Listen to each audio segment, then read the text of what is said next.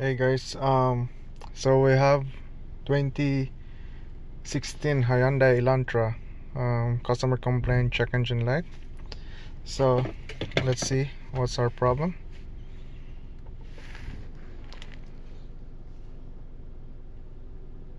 We go for full code searching. Let's just put transmission to.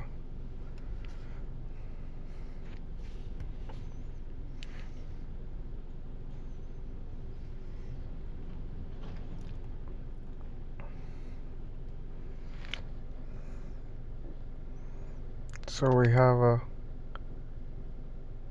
P0442 small leak and it's active. So I'll just see. So you can what we can see is let's see if there's a available freeze frame. Let's check that.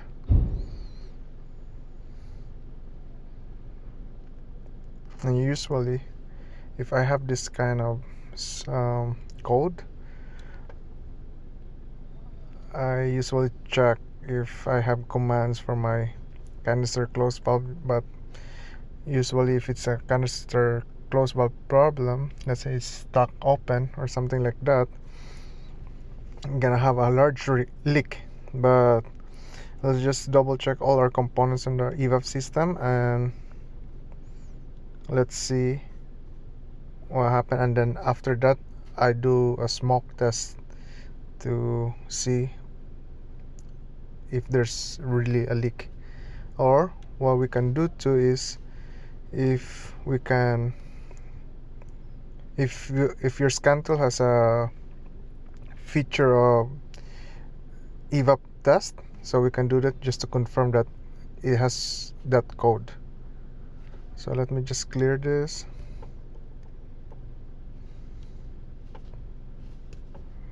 I'm gonna go here. So evap leakage test.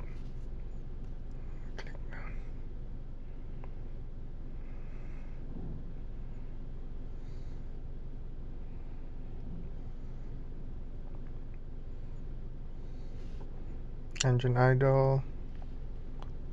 So there's all the enable condition. Okay let's hit okay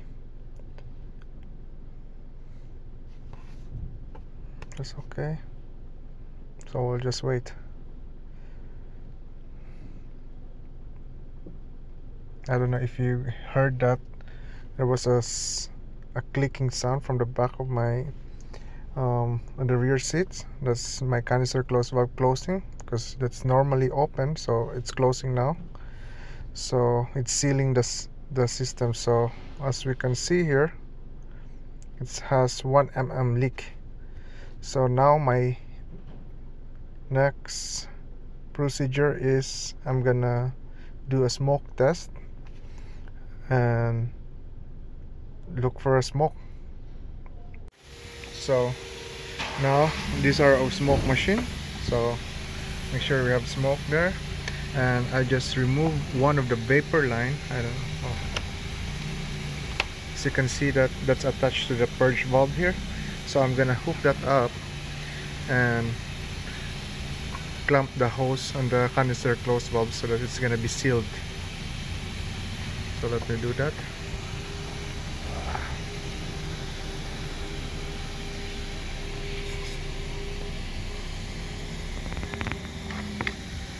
Okay.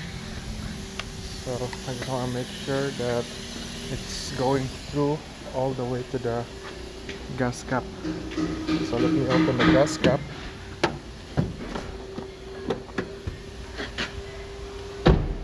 So at least all the smoke is coming out from here now. Let's lift up the car and let me clamp that hose.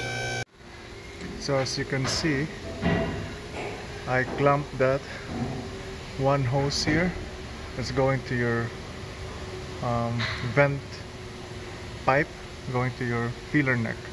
So now this is sealed now. So what we were checking right now is if we can see visible smoke from the vapor line. Where's the thing?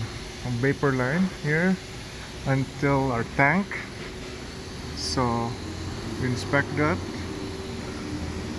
Maybe you have you will have a clue if if you see any rust build up because especially the mounting bolts or anything like that.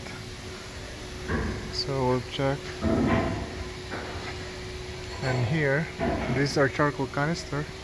As you can see we have some smoke coming out from there.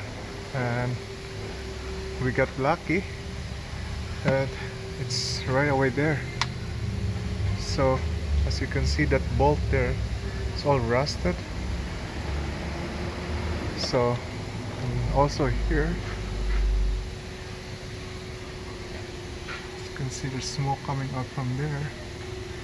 For sure it's not from my other bolt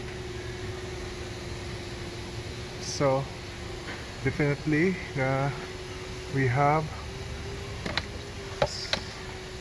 we have a charcoal canister leaking. Well how come this one is not leaking properly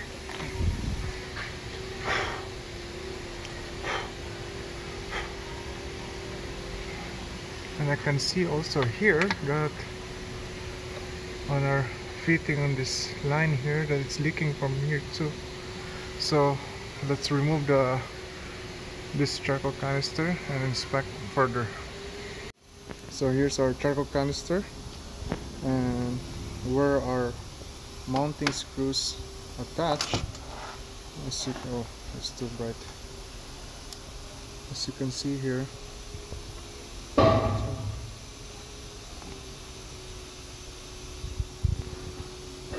See that? Whole crack on the other side.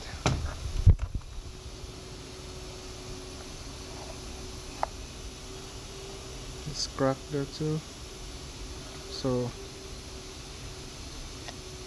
that's cracked so definitely this charcoal canister is not good and it's leaking so let's replace that and retest our smoke test and if see let's see if it's still leaking. So this is our new part. New part let's compare it see that's clean. They all just have the same mounting location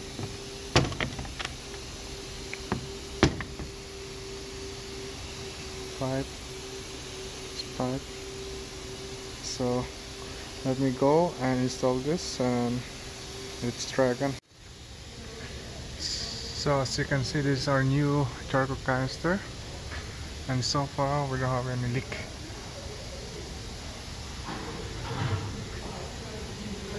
So I think that's good. And let's put everything back together and check our, our um, evap leak test if it passed. Or he can drive it for two driving cycle to ready the evap system. So, so now we're gonna try to do the evap test and see if it passes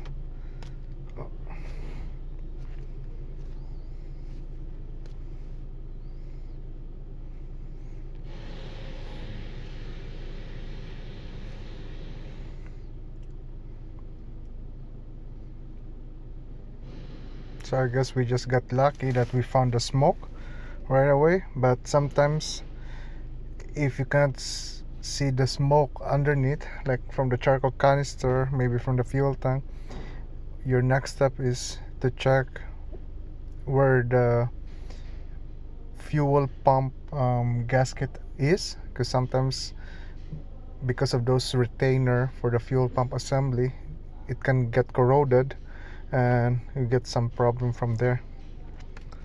So now let's see uh, if you can if it passes the test.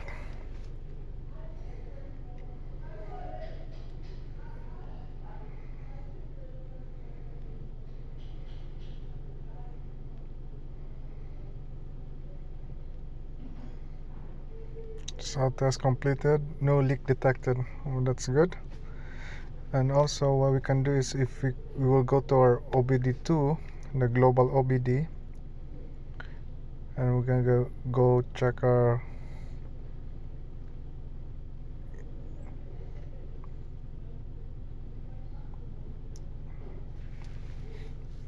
go to mode 6 and see our evap system there.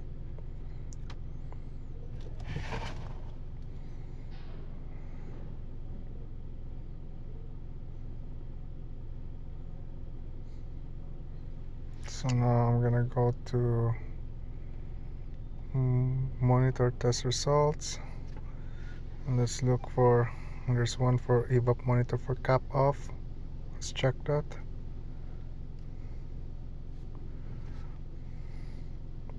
It says pass. That's good. And a 0.04 leak. That says pass and let's check our other one. 0.02 that's a small leak. Says pass that's good. Purge flow. Say pass that's good. So that's it guys. That's that's definitely fixed. Uh, it's a P0442 evap small leak. So Um, thank you for watching and see you next time